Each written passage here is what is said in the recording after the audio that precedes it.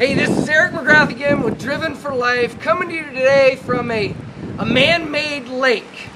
We're out here uh, in an oasis in the desert at Frank Harrison's retreat, so to speak, and he has built this place with his hands. Actually, that's him in the background.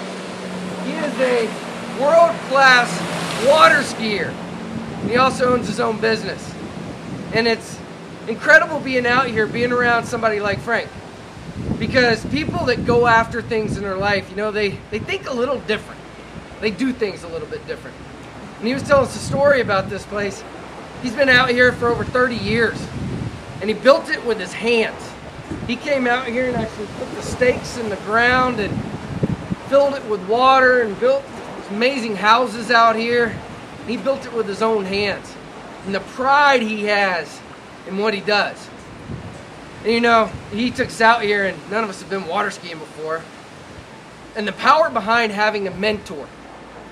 Because he worked with my son. My son's 11 years old. Never been water skiing. And he gets out there behind the boat, and Frank watches him, talk, walks him through the whole thing. And the very first time he gets up on both skis and goes around here like he'd been doing it for years. It's because Frank, knowing what he's doing, spending his life out here, knew exactly what to show him and he listened to them and applied it.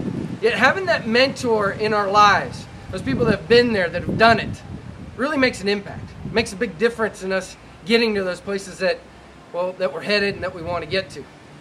And so today is about having a mentor for every area of our life. Who's your mentor? And it doesn't have to be someone that you know personally.